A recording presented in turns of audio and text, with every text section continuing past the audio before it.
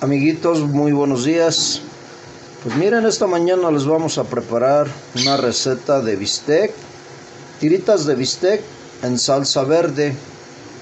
Nada más que esta vez no los voy a hacer asado, los voy a hacer así nada más cocidos en agua. Eh, pero yo los hago en, en rodajitas.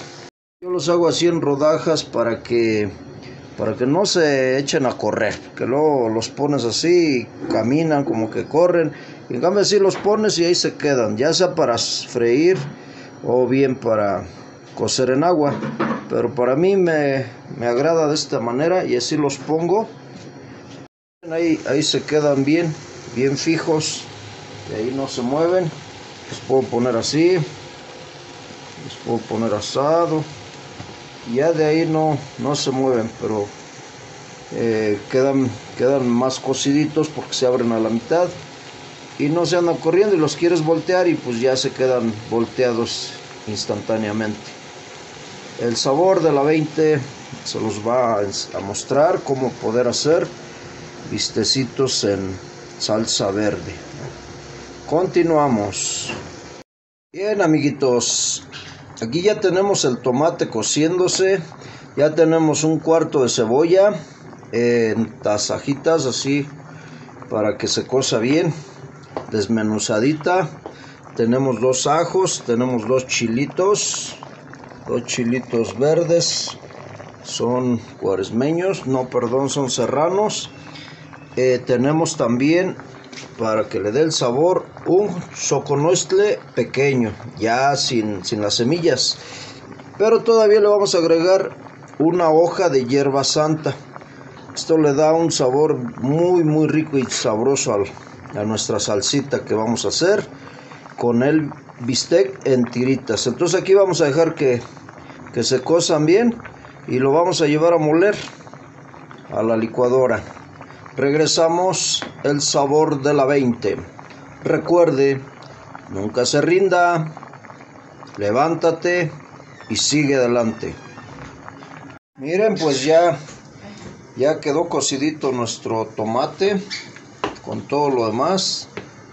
Acuérdense que lleva cebolla, capitas de cebolla, lleva dos ajos, lleva dos chiles cuaresmeños nada más porque pues es para mi clientela, pero si lo quiere hacer para usted, para la familia y son chileros, pues yo le recomiendo que le ponga seis chilitos cuaresmeños para que pique en serio, que pique bien sabroso y la hoja santa y también el, el choconostle, uno pequeño, para que no se vaya a, a, poner agridulce, no se vaya a agriar, pero con esto y la hoja santa, no hombre, le va a dar un toque exquisito a nuestra salsurria.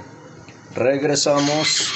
Bien aquí ya tenemos nuestro bistec las tiritas de bistec ya las estamos sofriendo en aceite en un poquito de aceite pero a la vez vamos a dejar que se frían en su propio jugo aquí ya está un kilito de tiritas de bistec y ya mientras pues vamos a licuar nuestra salsa y vamos a reservar un poquito en lo que se ponen un poquito más fritas y ya le ponemos la salsurria, ¿va?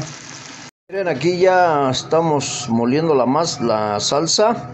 Aquí le estamos poniendo un puñito de cilantro, no sé, unas 10 ramitas, las cuales corto a la mitad para que no cueste molerse. Y ahorita la vamos a pasar al sartén, más bien a nuestra olla de barro con el bistec ya más fritito muy padre. Ya le pusimos sal al gusto de grano. Ya nada más que quede bien finamente molida. Y vamos a pasarlo al sartén. Ya tenemos aquí nuestro bistec en la cazuelita de barro. Ya bien sazonadito, casi cocidito. Tal vez no al 100, pero sí ya de estar a un 60%. Y aquí le vamos a agregar nuestra salsurria nuestra salsurria en el nombre de Jesús, en el nombre de Dios, para que nos quede deli, deli, deli, tal como nos gusta aquí, en el sabor de la 20, cocina económica Anita, su amigo Mariolo. amigos aquí ya le eché unas papitas para que pues rinda un poquito más y a la vez también sabe muy sabroso. Con estas papitas no las freí se las dejé así naturales.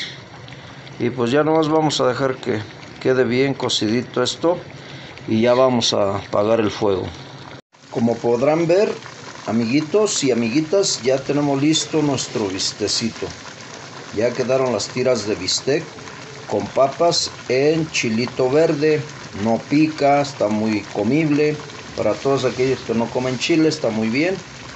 Y pues vamos ya a apagar la lumbre. Ya le pagamos y pues hasta el próximo video hasta la próxima receta. Que Dios me los bendiga. Éxito sin miedo al éxito amigos. Vámonos con todo. Bye bye